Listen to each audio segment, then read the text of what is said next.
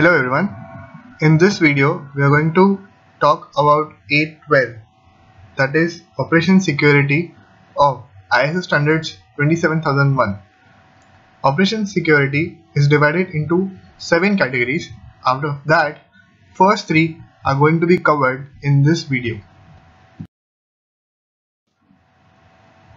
So the first category is Operation Procedures and Responsibilities.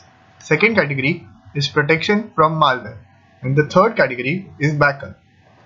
The objective of operational procedures and responsibilities is to ensure correct and secure operations of information processing facilities. Whereas objective of protection from malware is to ensure that information and information processing facilities are protected against malware. And the objective of backup is to protect against loss of data.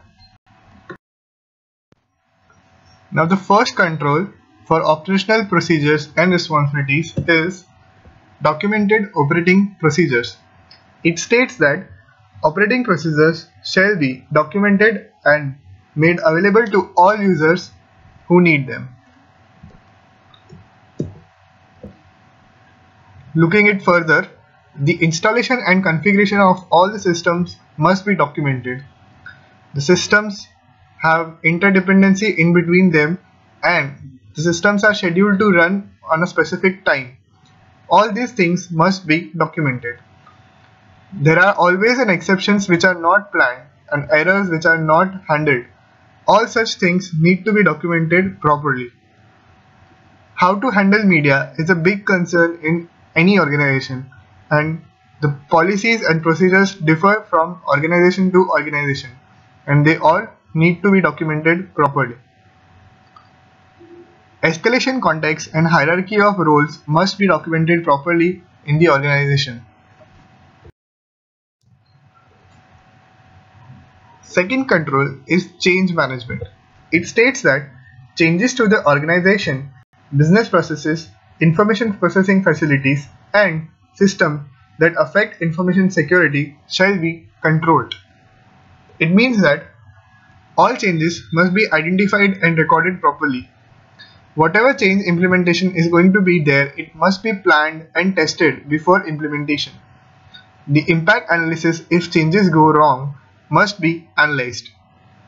Proper approval mm-hmm. chain must be processed before implementing the change. Once change is verified, one needs to plan the fallback procedures which are required for change management. If the change go wrong, we need to have a backup plan which needs to be executed. Also, emergency provision such as some urgent changes which should skip the approval process and be implemented as soon as possible must be provided. Third control is capacity management it states that the use of resources shall be monitored, tuned, and projections made of future capacity requirements to ensure the required system performance. Unused data must be deleted. Unused programs must be decommissioned. The resources which are going to be utilized in a project must be optimized and access to critical programs must be restricted. Only authorized users must be able to use them. And the last control under operational procedures and responsibilities is separation of development, testing and operational environments. It states that development, testing and operational environments shall be separated to reduce the risk of unauthorized access or changes to operational environment. Some basic guidelines for separation such that development region and operational region must be stored separately. Before we are moving a code from development to operations, it must be and thoroughly tested. Accessibility for compilers, editors and other development tools must be done before implementing them. Sensitive data must be protected.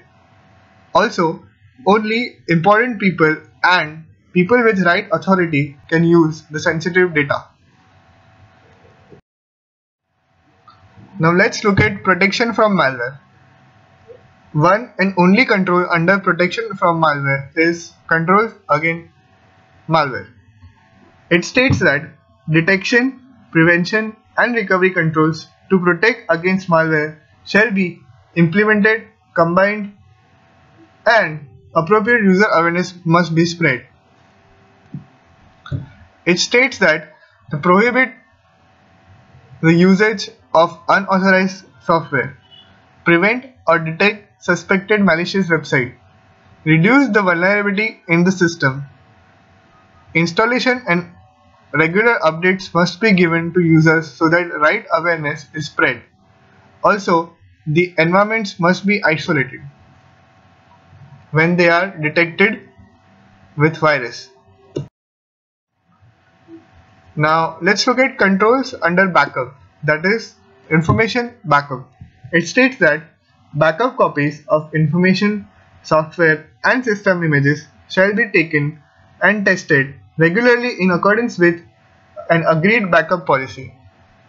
In this policy, following things can be agreed upon, such that how many backups copies must be produced, what is the restoration process, what is the extent and frequency of the backups that are needed, what should be the location of the backup, how much physical and environmental protection is needed for the backup, at what intervals and how many regular tests are required on backup media? Is there a need to encrypt the backup data? Now, these are the references which we have looked at while making this PPT.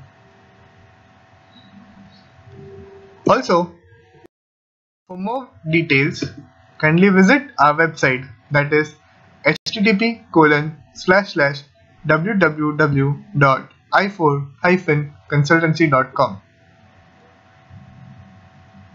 Thank you.